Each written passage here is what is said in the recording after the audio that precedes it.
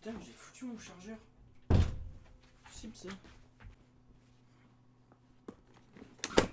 Oh putain, ma montre Génial. Putain, mais je vais l'emballer, sérieux. Avec la sacoche, je suis sûr. Dans la sacoche. Il est dedans, putain. Bon. On peut y aller. C'est là tout, c'est bienvenue dans Projet Métamorphe. Aujourd'hui, euh, on va parler d'SFR. Voilà, parce que j'ai envie. Je vais pas parler de l'histoire, du téléphone, des antennes, je m'en fous, tu vois. J'ai juste parler du matos, des box. Voilà. Parce que c'est ce que je connais le plus. Et c'est ce qui m'emmerde le plus aussi, ouais. ouais. Alors par avant, je suis désolé si je vais être vulgaire. Vraiment, c'est c'est que ça vient du cœur. Voilà. Bah, je vais commencer par la Freebox euh, Evolution, La 9 box du con ou NB6, tu sais, le, le carré blanc là. Voilà. Donc en fait là je l'ai pas avec moi mais parce que je viens de la rendre parce qu'on verra après pourquoi. Donc la NB6 bah c'est un en fait vu qu'à une époque ils aimaient bien tout ce qui était blanc, que c'était carré comme le logo de SFR, du coup ils ont fait une box carrée. Et en soi elle est stylée. Dessus il y a un port USB en fait où tu peux foutre soit une clé 3G plus parce que c'était à l'époque tu vois, ou soit tu foutais une chaîne tout seul qui avait la forme de la box. Ça faisait un ensemble stylé. Euh, À l'arrière t'avais quoi? T'avais 4 ports gigabits.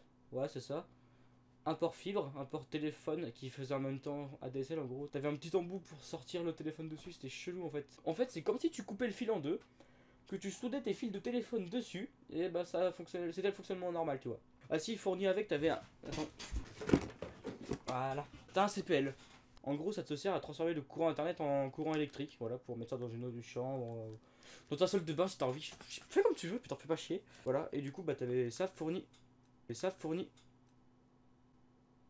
et donc t'avais ça fourni avec euh, la box, voilà, pour euh, l'alimenter, parce qu'en fait tout est, intégré- t'as la prise euh, d'alimentation du CPL, dessus t'as la prise donc euh, internet du CPL, et l'autre t'as la prise d'alimentation de la box. C'est celui de la box télé, mais c'est exactement le même. Et puis je crois que c'est tout. Si, il y a un deuxième port USB là, mais bon, Osef. En gros, les ports USB sur une, sur une box internet, ça sert par exemple, tu branches une clé ou un disque dur, et puis bah, tu peux partager ça sur une télé, sur une console, sur voilà. Allez voir sur mon site, j'ai montré ça un peu euh, comment je fais, mais euh, pas sur une box internet, sur un, sur un, PC dédié en fait, sous Debian, sous Linux quoi. Voilà, pour partager des films sur une console, sur, euh, sur une box télé aussi si t'as envie, sur une télé, sur une, télé, sur une télé connectée, un téléphone, enfin, voilà. Normalement, le lien est là-haut. Vers là. Ou alors il est dans la description, allez voir, faites pas chier. Je devrais arrêter de- d'être vulgaire euh, pour rien. Autrement, au niveau ADSL, bah il y a de la DSL, de la DSL 2+. Et c'est tout. Et du coup, je crois que c'est un an plus tard, ils ont ils ont fait une, euh, la même box, mais sans fibre et avec que de la VDSL. Ouais, ça sert à rien. Ils auraient, carrément pu faire une mise à jour, mais non. Bah les couilles. Il y a des Wi-Fi BGN dedans. Voilà, pour ceux qui savent, en gros, c'est du classique.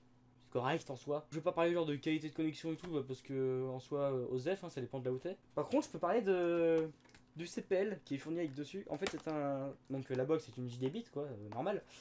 Par contre, le CPL, c'est un fast. Gigabit, c'est-à-dire que ça va jusqu'à 1 mégabit seconde. En gros, ça va jusqu'à 125 mégaoctets seconde. Et le fast, 100 mégabits seconde, soit 15 mégabits. Oui, tu le dépasses largement en 4G. C'est con.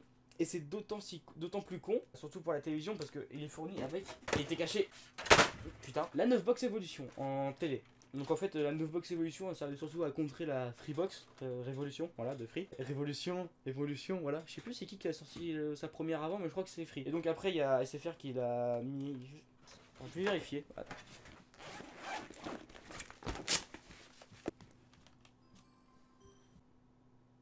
Allez.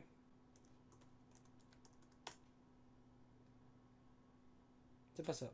Wikipedia.org. Voilà. Ah, la révolution c'est 2010. Ah oui, c'était Free Mobile en 2011. La évolution. Novembre 2010. Mais Free c'était euh, janvier, je crois. Ou décembre, je sais plus. 14 décembre 2010. SFR l'ont sorti un mois avant. Et la box évolution que VDSL que je vous parlais, ils l'ont fait en. Putain, même pas en 2013.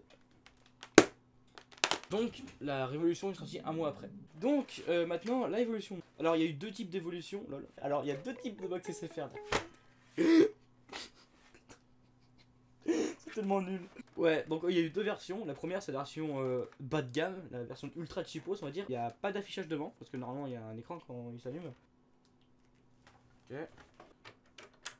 Donc un petit écran quoi. Il y a écrit euh, SFR bienvenue. Euh, en gros ça te donne euh, quand c'est éteint ça te donne la date, l'heure et quand c'est allumé ça te donne euh, soit le le menu où t'es ou la, ou la chaîne. Voilà. À l'arrière nous avons plein de connectiques parce que sans blague la- elle est large en vrai la box par contre elle est elle est flexible un peu quand même. il y a- Elle est, elle est moelleuse, tu vois, comme le, un peu comme du pain de mie. De ma droite à ma gauche, on a un, inter- un interrupteur on-off. Jour, nuit, jour, nuit. Non. La prise d'alim qui est une non standard.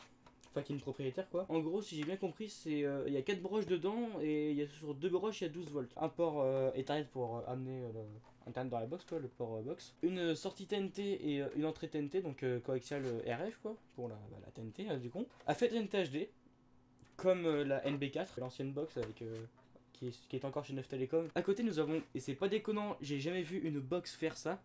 Nous avons deux box, deux. Il y a deux box dans la box.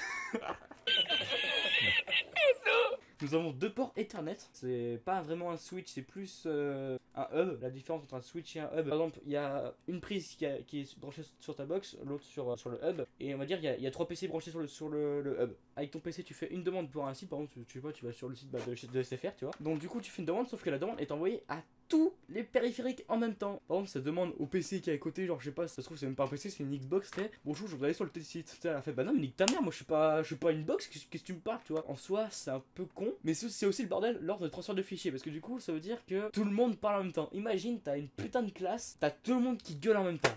C'est peut-être ta classe d'ailleurs, euh, bonne rentrée à toi. Il commence à faire noir. Voilà. On est d'accord, c'est le bordel, c'est pas viable. Et justement, ça crée plein de problèmes. Alors, que le Switch, il y a une puce en fait dedans à l'intérieur, un petit microcontrôleur qui dit bonjour, je voudrais aller sur le site de SFR. Et du coup, il va dire attends, attends, attends, deux secondes, je regarde euh, quel port est lequel qui va sur internet. Il fait ok, c'est bon, je t'envoie là, ça c'est. euh, En fait, c'est un flic et un carrefour quoi. À part ça, nous avons euh, deux ports USB, dont un écrit HDD. Je me demande pourquoi. Peut-être qu'il fournit un ampère au lieu de 500 milli. Pour revenir vite fait, par contre, sur les ports internet, du coup, c'est vraiment pas déconnant parce que lorsque tu branches en soit en dessous de ta télé et que je sais pas, t'as une console, un décodeur, une télé connectée, tu vois, enfin un autre décodeur, une télé connectée, bah, c'est pas déconnant. Au lieu de le mettre en wifi, bah tu le mets en câble, voire même une, console qui a pas de câble, genre la la première 3.6, hein, je t'aime. Et bah vraiment, c'est pas déconnant. Et du coup, même euh, pour le monter dans ta chambre, si tu t'en sers pas vraiment comme euh, une box télé, bah ça fait un CPL. À côté, nous avons deux prises Cinch euh, pour l'audio, donc stéréo. À côté, nous avons une sortie optique pour aller vers un ampli classique, un port HDMI, et deux ports Péritel, dont un auxiliaire pour sûrement mettre un, magnétoscope ou, un lecteur DVD. Bah, j'ai jamais réussi à m'en servir. J'ai essayé de brancher une console, un magnétoscope dessus, que dalle, ça marche pas. Ou alors je sais pas comment ça marche. Et aussi dessus, nous avons un port pour les cartes. Je pense que ça va servir à ça. Exemple, imaginons, j'ai, je suis abonné Canal Plus TNT. Donc voilà, avec ma carte, enfin ça c'est une vieille carte, mais Osef, tu vois. Je pense que je peux mettre ma carte dedans. Voilà. La NB4, et bah, t'avais ça sur le côté, mais de- dedans t'avais la carte euh, 9 avec. Ou la carte SFR quoi, pour la télé. Sur l'autre côté, nous avons un, disque, euh, un slot pour disque dur. Ouais, dans la version bas de gamme, il n'y a pas de disque dur fourni avec. Je crois qu'il n'y a même pas de trappe d'ailleurs. C'est un petit disque dur euh, fourni par SFR, voilà. Qui fait 40 Go, mais qui a une capacité de 250. Pour débloquer, parce que ça se débloque les 250 Go, tu dois payer à SFR, je crois quelque chose, soit directement, c'est soit par mois. Chez Orange, c'est par mois par exemple. Non, chez Orange, tu payes le disque par mois et je crois qu'après, t'as une option pour débloquer. Peut-être par mois. J'en sais rien, putain. J'ai la flemme de vérifier. En gros, oui, tu dois aller sur le site internet de SFR ou les appeler et leur dire bonjour, je voudrais avoir 200 250 Go dans mon disque. Et du coup, tu payes pour avoir 250 Go. Bouygues, euh, Orange et SFR qui font ça. Pourquoi? Parce que les lois, bon, je, je vais pas me lancer dans la politique, hein, mais en gros, il y a une loi euh, sur la copie privée ou un truc comme ça qui dit que si tu as un matériel euh, audiovisuel et que tu as euh, un, disque dur ou un périphérique, de stockage dedans, et que s'il pèse de plus de 40 gigaoctets, eh bien tu dois mettre une, payer une taxe en plus. Alors pourquoi Free n'a pas entre guillemets cette taxe? C'est là où ils ont niqué le game par rapport à la, quoi, c'est la Freebox HD, c'est la, la dégueulasse avec, les, avec les antennes et tout. Le disque dur était bah comme le SFR dans la box. Je crois qu'il était intégré, il s'enlevait pas. C'était un 3,5 pouces aussi, je crois. Et du coup, pour la révolution, ils l'ont mis dans le serveur pour faire un NAS en fait. En gros, tu mets tes fichiers dedans. Et ton. Celui-là aussi, il sert un peu de NAS. Tu peux foutre tes fichiers dedans, mais que en SMB, je crois. Que en partage de fichiers Windows. Tous les appareils qui permettent de partager euh, des fichiers font le SMB normalement de base. Et du coup, pourquoi Free a fait ça? Eh bien, vu que la taxe ne s'applique pas à un NAS, parce qu'un NAS c'est fait pour de la donnée et non pas de un contenu multimédia forcément. Du coup, ils sont niqués le game entre guillemets. Parce que du coup, quand tu enregistres une vidéo, euh, quand tu enregistres une chaîne ou une vidéo avec, ta, avec ta, le player de la Révolution, ou même la lire, tu vois, ça met tout sur le NAS. Et du coup, ça récupère tout sur le NAS. Sur la façade, euh, bah, il y a écrit SFR, hein, tu me pas me dire, c'est pas logique. Il y a un bouton d'allume, euh, bah, quand, c'est- quand, quand il est en veille, c'est rouge, et quand il est allumé, il est vert, voilà. T'as un port carte SD et t'as un port USB, des flèches avec un bouton OK, bouton retour et le bouton SFR pour t'emmener au menu, tu vois. La télécommande, alors, comme la Freebox, et pas comme celle d'Orange d'ailleurs, à les radios. C'est-à-dire que par exemple, euh, infrarouge, sur la télécommande, il y a les chiffres de 0 à 9, enregistré, volume moins, volume plus, retour et suivant, play pause, retour. Enfin, retour dans un menu, l'autre c'est retour euh, dans le programme, tu vois. Des flèches, ok, mettre en veille et c'est quoi. En vrai, franchement, je... c'est pas déconnant, elle est bien ergonomique. Elle est stylée aussi. Voilà, franchement, elle est, elle est pas mal hein, en soi. Est bien. Alors, j'ai pas envie d'allumer le, décodeur parce qu'on va venir au problème. Des putains. Mais des putains de problèmes Alors, euh, bah déjà, vu qu'on est sur la télécommande, on va commencer par ça, hein. Euh, avant, ça le faisait pas. Ça marchait très bien jusqu'à 2015-2016. Jusqu'à ce que la télécommande que, décide que si euh, ton décodeur est en veille euh, depuis, je sais pas, plus de 5-6 heures, bah je me désynchronise du décodeur. Et du coup, tu es obligé d'aller avec les flèches du décodeur dans le menu, la resynchroniser. Et c'est la même chose à chaque redémarrage de la box. Donc la télécommande c'est fait. Le CPL, c'est un CPL fast. Donc comme je disais, euh, la box est gigabit et fait la fibre, a fait de la Full HD. Et plus si tu connectes d'autres appareils, bah du coup ça fait encore plus de consommation. Et donc ça peut aller jusqu'à 15 mégabits seconde. La Full HD, je crois que c'est 3 mégabits minimum, donc ça va, tu vois. Le Free Plug, donc le CPL de chez qui est vendu avec Free. Déjà pour commencer, euh, tout se détache. Là, tout est euh, connecté ensemble, c'est pour la même raison que la Famicom, la NES japonaise quoi. Ça c'est la NES euh, française par exemple. Donc c'est pour la même raison que sur la NES japonaise, ils ont attaché les fils des manettes. Parce que ça coûte moins cher de faire des connecteurs. Qu'est-ce que je peux dire d'autre? Cette merde C'est une calamité, bordel de merde. Vous pouvez voir sur mon compte Twitter, si vous voulez, il y a... Il y a très longtemps, je, je, rageais sur cette putain de CPL de merde. La box me servait pas à regarder la télé, mais me servait euh, euh, comme CPL pour venir amener internet dans ma chambre pour euh, le serveur, mon ordi, ma console, voilà tout ça. Et ce truc déjà, euh, il décidait à tout moment, quand il voulait, bonjour, je fais la grève, même s'il n'y a pas de, de la travail, je m'en bats les couilles, je fais quand même la grève, tu vois. Juste sans raison, tu vois. Genre limite, euh, j'étais, je sais pas, j'étais à internet, j'étais tranquille. Euh, Il y a un pote, il me voit, eh ton site il marche pas. Je c'est bizarre. Ah bah non, en fait c'est normal, CPL de merde. Et maintenant, on passe au plat de résistance. La box télé. Cette box est une calamité, j'en ai marre. Vraiment, j'en ai, ai marre. Qu'est-ce que je pourrais dire déjà pour commencer? Bon, en soi, le Switch, franchement, c'est vraiment une bonne idée. Enfin, le Switch, le hub. Ce putain de décodeur rame dans tous les sens. N'importe quel menu rame. Pourquoi? C'est de la 3D.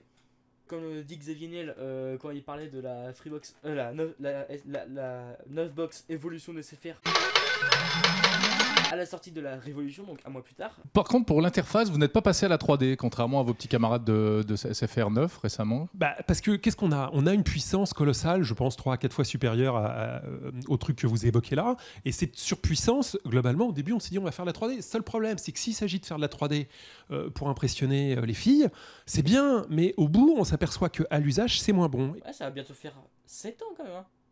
7 ans que la Révolution est là. Et franchement, euh, pour le, j'en ai pas, hein, mais j'en ai, utilisé, j'en ai utilisé pas mal, tu vois. Et j'en ai jamais vu ramer une seule. Mais celle-là rame dans tous les sens. D'ailleurs, pour la petite anecdote, même la NB4, la, la, la 9 box, euh, l'ancienne quoi, elle rame aussi, même en 2D. C'est-à-dire qu'en en deux générations de 9 box, il n'y en a pas une qui rame pas dans les menus. Même dans le zapping, ça rame. Dans tout. Oh, ma box elle rame, qu'est-ce qu'on fait? Et si on foutait des jeux dessus? Allez Ta box à rame, tu fous pas des jeux dessus. Encore moins un 3D. Un truc que j'ai oublié de dire, parce que depuis tout à je râle sur la 9 box, mais en vrai, il y a un truc qui est bien par rapport à la révolution. C'est que tu peux revenir en arrière. C'est-à-dire que la révolution, tu peux mettre pause, ça enregistre, tu mets play, tu peux avancer. Sauf que celle-là, tu peux revenir en arrière. Genre, par exemple, je sais t'avais un- une scène marrante, tu reviens en arrière. Ou alors tu fais euh, un truc sympa, c'est que tu mets pause, tu vas au chiottes ou tu vas bouffer, tu reviens, voilà.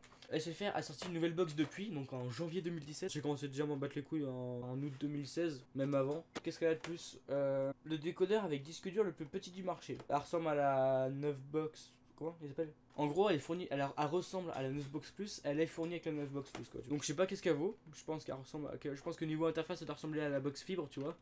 Attends, ils ont vraiment, ils ont vraiment appelé ça décodeur plus? C'est dégueulasse. Alors dedans, c'est génial. Euh, il, y a des, applications dedans. Un peu comme la Freebox. Sauf que contrairement à la Freebox, il n'y a pas de store.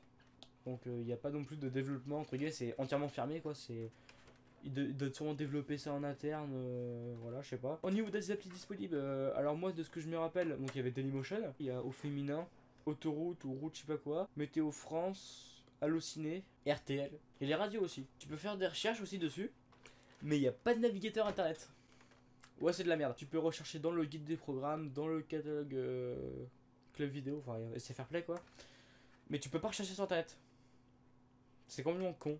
Maintenant les problèmes, vu qu'elle rame dans tous les sens, ça cause plein, plein, plein de soucis. Que le fait que quand tu décides qu'avec la télécommande même avec le bouton, tu mets le décodeur en veille, et bah il se met pas en veille. Juste tout simplement pas. Genre euh, le son, le son, le menu est là, le son il, tourne là, il se passe rien. Je crois que il affiche euh, l'heure en mode genre je, commence à m'éteindre mais il s'éteindra jamais. La télécommande qui se désynchronise euh, à chaque fois, c'est de la merde. Le temps de zapping ultra long, c'est de la merde quoi, c'est de la merde. Et jusqu'en janvier 2000 2017, ils ont fourni ça. Ma mère a reçu un appel de SFR. En, savez, c'est le genre d'appel où on vous dit Bonjour, ça fait longtemps que vous êtes client, ça vous dit un forfait où vous êtes engagé sur, sur, euh, 10 ans? Voilà, tu, vois ce genre d'appel de merde. Et en gros, bah ma mère, elle a gueulé en mode, J'extrapole, on va dire Ouais, nique ta mère, ta box de merde, elle marche pas, tu me prends un con Ça, mais en moins vénère quand même, tu vois. En gros, leur a dit Allez vous faire chier, votre box à la con, elle marche pas là, putain. Du coup, le mec, il a fait Ok, on vous la change. J'ai dit, oh, tiens, moi, même j'étais surpris, toi. C'est c'est faire qui est intelligent, tu vois. Et du coup, euh, ma mère fait Oh, ok, et tout. Déjà, on est engagé 12 mois. Heureusement, on a 11 jours pour se barrer. T'inquiète qu'on va le faire. Et donc, du coup, euh, ils nous ont changé la box. Sauf que. Ce serait pas drôle. Qu'est-ce qui se passe hein, quand la box TV ne marche pas? Tu changes la box TV Bien sûr que non. Tu changes la box internet. C'est pas drôle sinon, franchement.